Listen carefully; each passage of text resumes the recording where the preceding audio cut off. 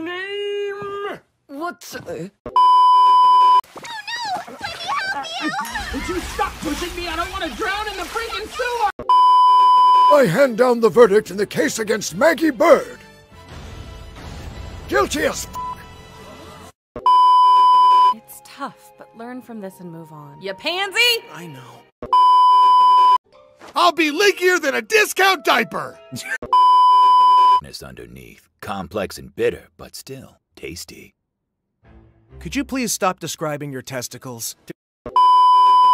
This music turns me on! I've been thinking about taking some law classes, and it's got me thinking about taking some law classes because that's what I was thinking about.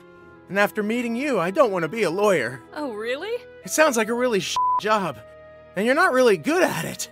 And everyone hates you afterwards. I mean, not as much as if you're a voice actor in anime, but they still hate you. Yeah.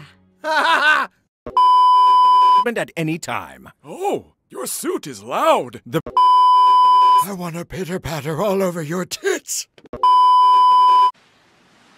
Your special seashell is pretty hard to find. F you, Eric.